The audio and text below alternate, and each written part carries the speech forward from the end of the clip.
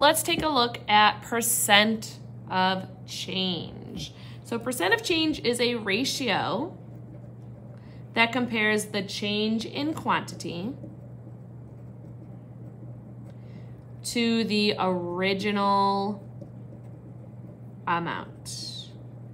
And I want you to highlight that part right there because this is where people will make mistakes. It's always on the original amount. So how do we find the percent change? We are gonna find the difference. We're gonna set up a proportion to solve for that percent change and then state whether it's an increase or decrease. So your proportion, right? We have our general percent proportion. So we have a percent here that we are solving for. We have the change or the difference between the two over the original every single time. Okay. So let's look at this first one. If the original amount was $56 and the new amount is $63, okay, we have a blank proportion out of 100. We are solving for the percent.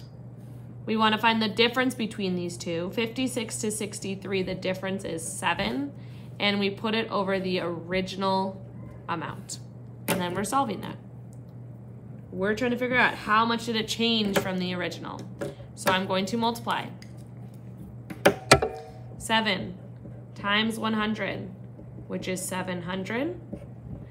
And I'm going to divide by 56, which gives me 12.5. We were talking about a percent. And whether it's an increase or decrease, the original was 56, the new amount is 63. It increased from the original. So it's a 12.5% increase. Number two, another just kind of blank generic one. If the original amount is 29, the new amount is 25. So every single time we are solving for the percent, we're finding the difference between these two. 29 minus 25 is 4. And over the original amount of 29. So, to solve, I am multiplying 4 times 100, which is 400. I am dividing by 29, which we get a long decimal. I'm going to round it to about 13 0.8%. And then it went from 29 originally down to 25. That decreased. So it's a 13.8% decrease. Now let's look at it with some real world problems. Number three, during the 1993-1994 school year, there was one computer for every 16 students in the U.S. public schools. There was one computer for every 5.9 students during the 2003-2004 school year. Find the percent change. So we were at 16, the original, and the new is 5.9. Just making note of that. So as always for these, we are solving for the percent. I'm going to find the difference from 16 to 5.9. That is a difference of 10.1. The original amount, what they started with in 1993 was 16. So we want to know how much it's changed since then. So we're going to solve 10.1 times 100 equals 1010. Divide by 16 and we get 63.125. I'm just gonna round that to 63.1%. Was it an increase or decrease? Well, we started with 16. We went down to 5 point, or sorry, we went, yeah, we went down to 5.9. So it decreased over time. Sometimes people get mixed up with this question because they're like, well, no, it's better now. There's more computers. You're correct. The number of computers increased, but the number of students that had to share a computer decreased. Less students needed to share. All right, number four.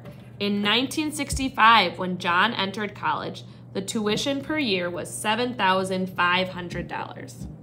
In 2005, when his daughter went to the same school, the tuition was $25,500.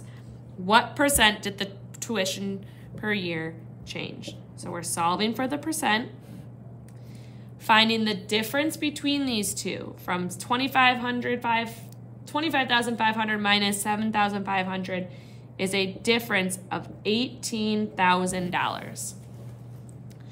And then over the original, the original amount was 7,500. So we're going to solve. 18,000 times 100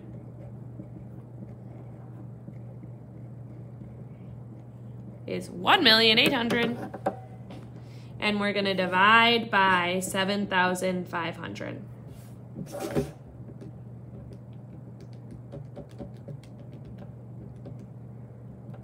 And we get 240%. OMG, tuition has changed a lot. And it originally was 7,500, now it's 25,000, so it increased. A 240% increase over time. Hey, number five, we're looking at Ariana. Estimates that she spent $230 at the mall. She actually spent $245. Find the percent error, round to the nearest tenth. So we are going to look at what percent out of 100. The difference between these two, 230 and 245, is 15. So all of this so far is the same for percent change, right? We found the change, the percent, found the change, the percent over 100. The only difference with percent error is percent error tells you how big your errors are. It is calculated as a percentage of the actual amount.